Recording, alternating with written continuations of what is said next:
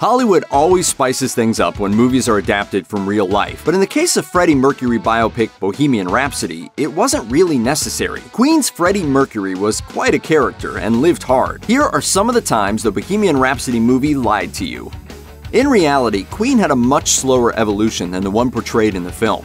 Mercury already knew Brian May and Roger Taylor, who were in the band Smile, but he was singing with other groups. According to Queen Vault, the first time Queen members were on stage together was in 1969, when May and Taylor joined Mercury on stage for an encore at one of his shows. By the time Smile's bass player decided to quit, May, Taylor, and Mercury were sharing an apartment, so they were hardly strangers, as Rolling Stone reported. It's true that the band member's departure gave Mercury the in he needed to join the group, but he was already a part of May and Taylor's musical circle and had been for some time.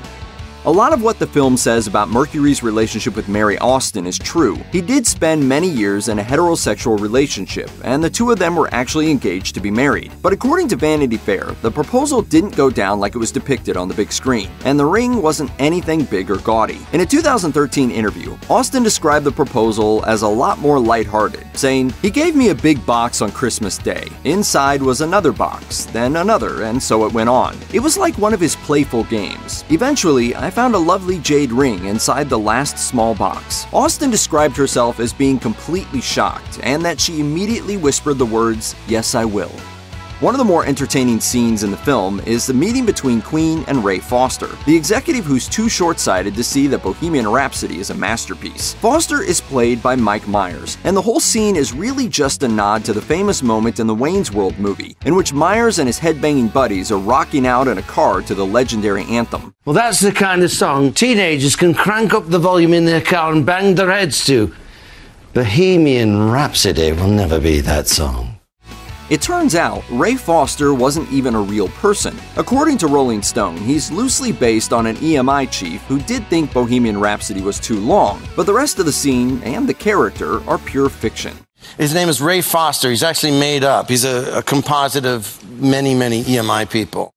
In Bohemian Rhapsody, Mercury tells his bandmates that he wants to leave the band to work on a solo project. His bandmates are devastated and betrayed, and they all part on very bad terms. But according to Ultimate Classic Rock, while the band did indeed take a break after the 1982 release of their album Hot Space, it wasn't actually a breakup, and everyone was pretty much on board with the idea. Also, May and Taylor were both already working on solo records of their own. In the Mercury biography, A Kind of Magic, Taylor said he didn't think Mercury even wanted to be doing a solo solo album. It's just that he got an awful lot of money from CBS. When it came down to actually doing a solo album, he did sort of miss us. He used to ring me up, and I'd have to fly to Munich to do his background vocals.